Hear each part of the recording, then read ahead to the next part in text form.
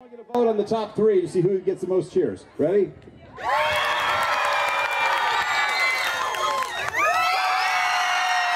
观众用尖叫声力挺心中最丑的汪星人。美国加州贝塔流马年度世界最丑狗狗比赛重磅登场。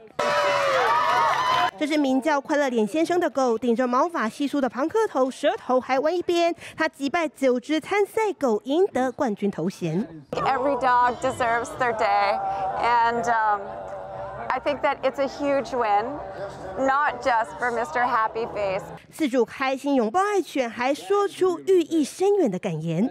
And with some kindness and compassion, we can make this world so beautiful. 四十一岁的亚利桑那女音乐家班纳利去年收养了这只十七岁的中国冠毛犬。当时流浪狗之家的人告诉班纳利，因为前四主的虐待和疏于照顾，再加上环境恶劣，让它健康不佳，可能只剩几周时间可活。don't want to adopt them and so like it brings awareness that even if they're ugly they can be really loving and amazing creatures 最后，班纳利决定领养它，还将它取名为快乐脸先生，在他的余生中给予满满的爱和陪伴。It really is stretching, expanding my whole concept of cute.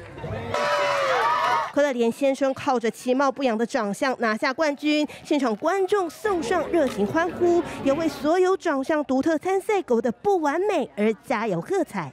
电新文综合报道。